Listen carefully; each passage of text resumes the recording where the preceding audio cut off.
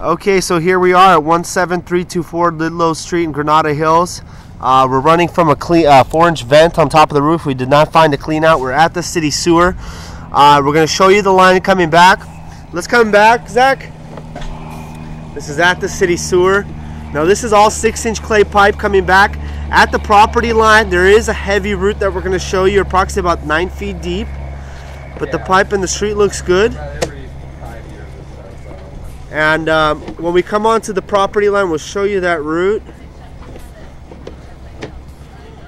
Right here. Go forward, Zach. You can see right here, this is the 4x6 transition. There is a root coming in through that joint there.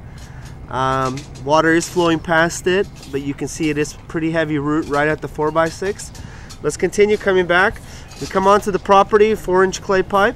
The rest of it looks pretty good coming back here. This is all 4-inch clay. This is all in pretty fair condition. So we do have one section in the uh, clay pipe right at the 4x6 transition at the property line that there's a heavy root. The rest of it coming back looks pretty good here.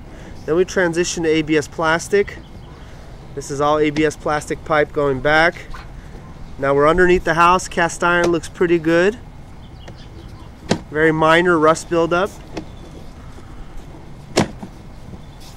And we're coming up the vent. So the sewer line's in pretty good shape. Just that one spot at the 4x6 transition, which either A needs to be repaired or B needs to be hydrojetted.